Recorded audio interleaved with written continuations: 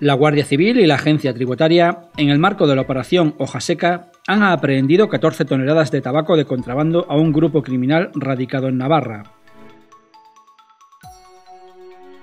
El grupo desarticulado se dedicaba a la adquisición de hojas de tabaco para su posterior venta por Internet y distribución en varias provincias del territorio nacional. En la operación se ha procedido a la detención de 14 personas, 3 en Navarra, 4 en la provincia de Ciudad Real, 2 en la de Toledo y 5 en la de Cáceres, y a la incautación de una pistola detonadora, maquinaria industrial para picar y triturar la hoja, así como diverso material para su pesaje, empaquetado y distribución, y más de 33.000 euros en metálico.